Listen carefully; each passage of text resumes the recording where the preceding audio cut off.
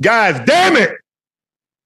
Guys, we're sorry for the technical difficulties. I don't know if it's me or if it's on the other end, but I promise you that won't happen again. Guys, please make sure you do us a favor. Go check out Shea by Laportier. If Shea is not in the state or a city near you, you can order it and it. Co- Guys, damn it! From an acupuncturist point of view, this is my opinion what's going on with Shannon Sharpe. He's experiencing something that we call liver yang rising. Okay? That's a fancy TCM word for um, words for basically he's super stressed and the anger is going to his head causing a lot of heat and heat rises and boom.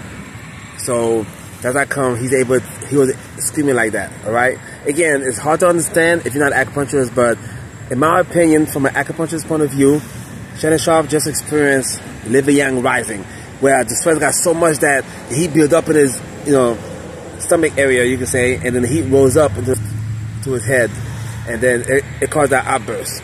All right, and I'm willing to bet you if if his blood pressure was taken at that moment, I'm pretty sure that his blood his blood pressure was going to be high. All right. Again, all this is just my opinion as an acupuncturist of what just happened with Shannon with Shannon Sharpe. Which is my opinion as, as an acupuncturist. Shannon Sharpe is not my patient. I have not seen him. It's just from acupuncturist point of view. That's why I think it's happening. But all this is just my opinion. And all this is for educational purposes only.